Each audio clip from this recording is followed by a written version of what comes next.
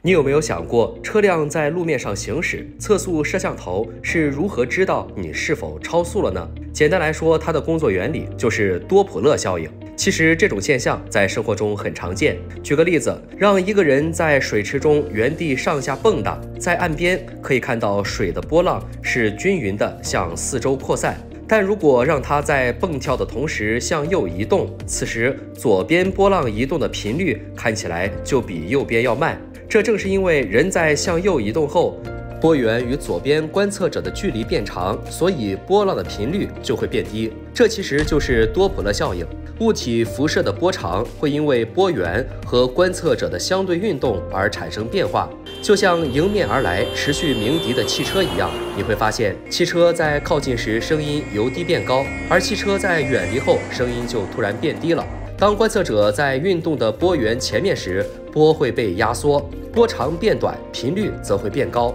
反之，当观测者在波源后面时，波长就会变长，进而频率变低。声波的频率就是音调，所以汽车在靠近时，波的频率变高，声音也就变高。远离后，人处于波源的后面，所以声音也就逐渐变低。看到这儿就不难理解测速雷达是如何工作的了。多普勒效应适用于各种类型的波，那么同样作为波的电磁波也有着同样的特性。雷达测速仪中有一个发射器和接收器，发射器会以恒定的频率发射无线电波，这些电波在接触到车辆时会被反射回来，就像在水池中原地不动的人一样。如果车辆是静止的，那么接收器收到的频率就会不变，但如果车辆是移动的状态，那么雷达测速仪就会收到不同的反射频率。这时它就会进行下一步工作，和声波一样，当车辆靠近测速仪时，反射回来的波频率就会增加；远离测速仪后，频率就会减少。